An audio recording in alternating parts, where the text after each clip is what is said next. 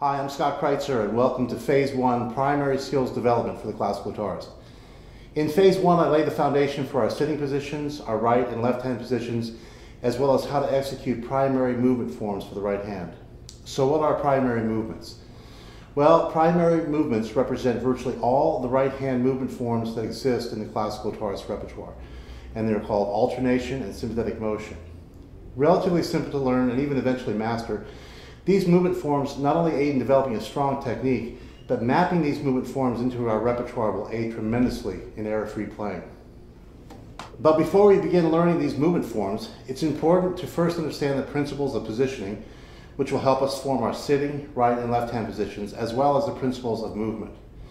Both sets of principles are guided by biomechanics. This kinetic approach to the guitar is thorough, and the student who completes phase one will not only have developed the foundation for error-free playing, but an understanding as to the how and why of technique for the classical guitar.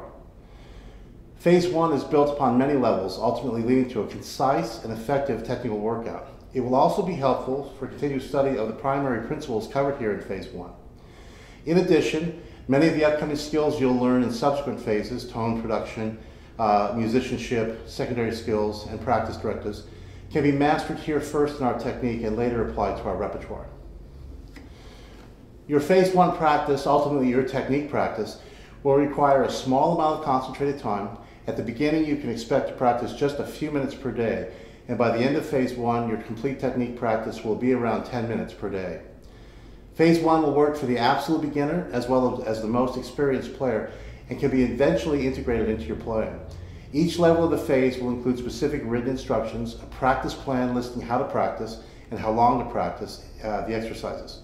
This will be posted for free on my website. In addition, those who want to work with me directly can have access to video instructions as well as my practice along with Scott video, where I'll coach you on the principles as you and I practice together for each level of phase one.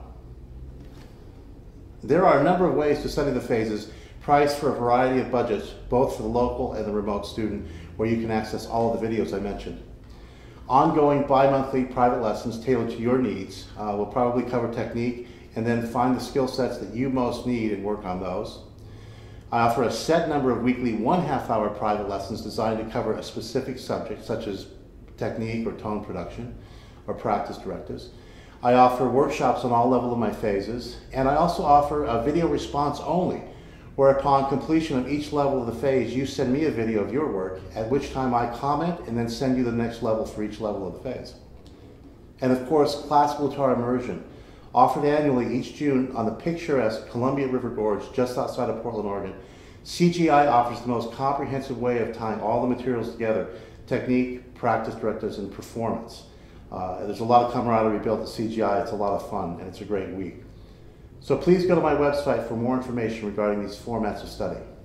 And as always, please feel free to add your questions and comments to the blogs as I post this information on my website. I suggest that you go to my website and subscribe so that you'll be notified as soon as these and other articles for the classical guitarist are posted. Okay, well let's begin phase one.